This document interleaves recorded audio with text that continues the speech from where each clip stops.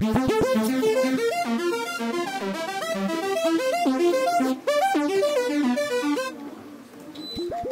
today I'm going to be talking about dogs. I think dogs are amazing, so that's why I'm going to be talking about them. Firstly, dogs can come in many different breeds. For example, Poodle, Beagle, and Labrador Retriever, and so many more. My favorite, I don't have a favorite. Well, I like all dogs. Dogs can be very helpful when you're sad. They can always come and give you a cuddle.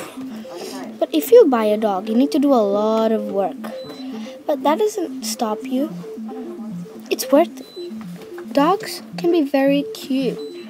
They can always give you a cuddle when you need it. They'll always be there for you. Dogs also have a special love for their owner. They don't go any other owner unless they know that it's safe. They protect their owner most. So if you ever buy a dog, I'm sure you'll have fun. Thank you.